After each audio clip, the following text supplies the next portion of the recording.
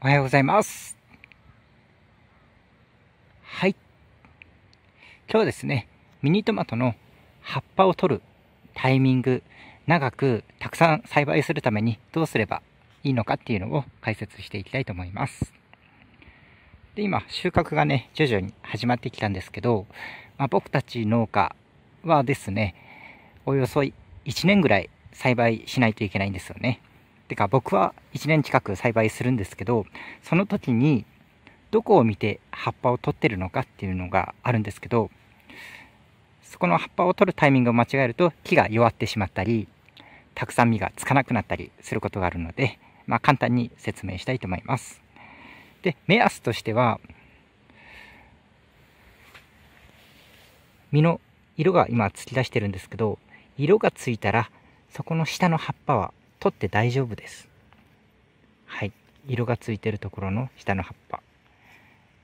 で、ここも色がついたら下の葉っぱ取って大丈夫なんですけど、ただ、収穫が終わって葉っぱを取るっていう人もいます。葉っぱで糖度とか栄養とか光合成がね、作られていくので、あえて収穫が終わってから葉っぱを取るっていう人もいます。まあ、色がついたらね、葉っぱ取っても大丈夫なんですけど、はい。で、ここがね、混んでくるとですね、下の方からハカビとかうどんこ病が発生する恐れがあるんですよね。風通しが悪くなったりするので。はい。だからなるべく、もうハカビとかが発生したら、映らないうちに取ってあげた方がいいんじゃないかなと思います。で、この木の樹勢が今、人差し指ぐらいあるんですけど、はい。このくらいがっちりしてれば、全然葉っぱ取っても大丈夫です。ただですね、これは人差し指ぐらいあるんですけど、こっち、こっちはですね、鉛筆ぐらいのサイズしかないんですよ。で、細い茎って葉っぱも小さいし、実もちっちゃいんですよね。で光合成する面積とか栄養を作る面積が少ないので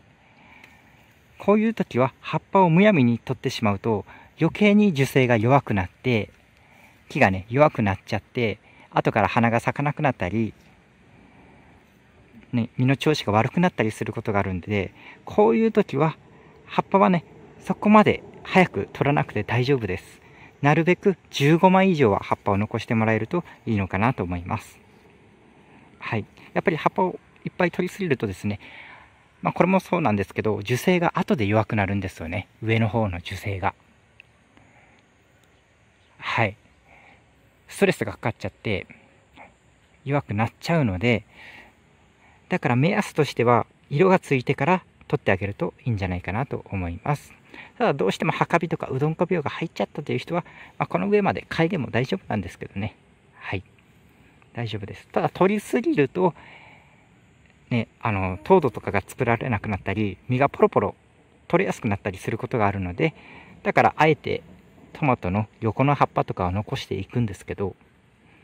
はい。だから下の葉っぱを取ったりすることがあるんですけど、まあ、だから茎がね、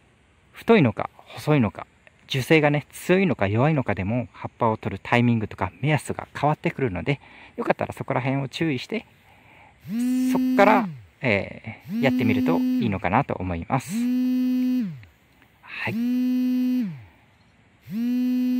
まあよかったら、えー、参考にしてみてください。ということで、またチャンネル登録と高評価の方もよろしくお願いします。それじゃあ、バイバーイ。